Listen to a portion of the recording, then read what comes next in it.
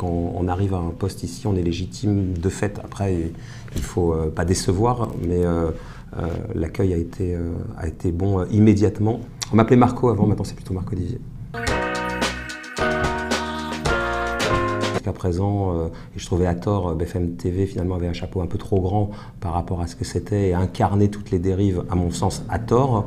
depuis la rentrée, nous on est bien dans notre couloir, on fait de l'info telle qu'on doit la faire et euh, ben, les autres font du débat tel qu'ils le font, et d'un coup on les regarde un peu différemment. Et je trouve que c'est simplement le regard qui s'est détourné et euh, les choses qui se sont un peu plus équilibrées. Mais euh, non, il n'y a pas une inflexion. La seule chose peut-être quand même, c'est qu'en réaménageant la grille de façon plus lisible, c'est beaucoup plus clair ce qu'on fait et on voit plus la différence.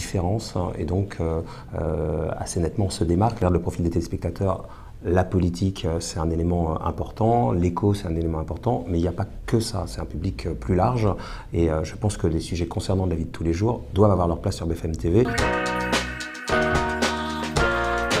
Notre modèle, euh, c'est l'info. Il y a une c'est la seule chaîne qui est bénéficiaire et donc qui peut faire de l'info telle qu'on en fait. Les autres sont plus des chaînes d'opinion, même si évidemment ils font aussi de l'info. Et c'est pas du tout une critique. Il n'y a pas une hiérarchie dans, dans ce que je dis.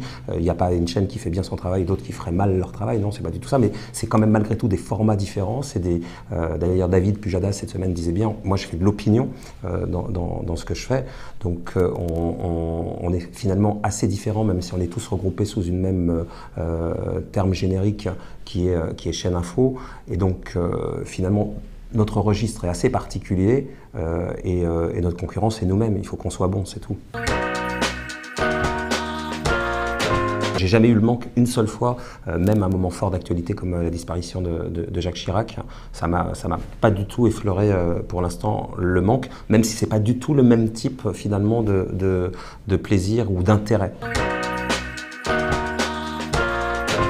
Euh, beaucoup de, choses précises qui viennent et contraignantes qui viennent être bousculées par euh, que de l'imprévu. En fait, c'est ça la, journée type, c'est plein de rendez-vous euh, récurrents qui sont calés avec des réunions ou de budget ou éditorial ou enfin il y a plein de réunions différentes et puis tout ça est basculé par, par, le quotidien. Ça commence relativement tôt, mais j'ai connu plus tôt, ça commence vers 6h15, 6h30 en se picousant à l'info, grosso modo. et puis ça se termine, je pars relativement tôt puisque je repars vers 19h30 après ces journées euh, intenses. Je couche mes filles et puis je recommence après à être devant la télé, à réimaginer des choses euh, jusqu'à ce que Bruce termine à minuit. Quoi. Directeur de BFM TV. Elles ont bien compris que, j'avais moins de liberté et que été beaucoup plus sur mon portable. Je passe autant de temps avec elles, mais en étant moins libre. Donc euh, ça, je sais que j'ai un petit effort à faire pour elles. Elles regardent beaucoup de dessins animés, beaucoup trop de dessins animés concurrent direct de BFM TV pendant les vacances. C'est les enfants qui ont la télécommande.